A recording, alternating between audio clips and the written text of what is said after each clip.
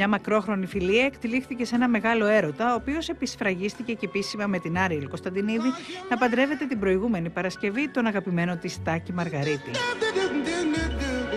Η όμορφη ηθοποιός μοιράστηκε την πιο όμορφη στιγμή της ζωής της με συγγενείς και φίλους στο γαμήλιο πάρτι που έγινε την επομένη του γάμου της. Η Άριελ Κωνσταντινίδη γνώρισε τον άνδρα που έμελε να γίνει πρωταγωνιστής στην καρδιά της πριν από 8 χρόνια. Ήταν φίλοι και αυτό που του συνέβη ήταν η αμοιβαία συμπάθεια και η εκτίμηση. Η φιλική του σχέση άρχισε να εξελίσσεται σε ένα μεγάλο και δυνατό έρωτα τα τελευταία τρία χρόνια. Τότε άρχισαν δειλά να κάνουν τις πρώτες δημόσιες εμφανίσεις, με το ερωτευμένο ζευγάρι να είναι διαχειτικό και να μην κρύβει τον ερωτά του. Στο πρόσωπο του Τάκη Μαργαρίτη, η Άριελ Κωνσταντινίδη βρήκε το άλλο της μισό. Εκείνος είναι επιχειρηματίας και ασχολείται με την εισαγωγή συμπληρωμάτων διατροφής, ενώ είναι συνεργάτης με την Ολυμπιακή ομάδα της Πάλης.